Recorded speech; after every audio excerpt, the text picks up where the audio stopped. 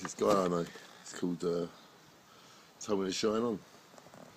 So as we sit in the sun,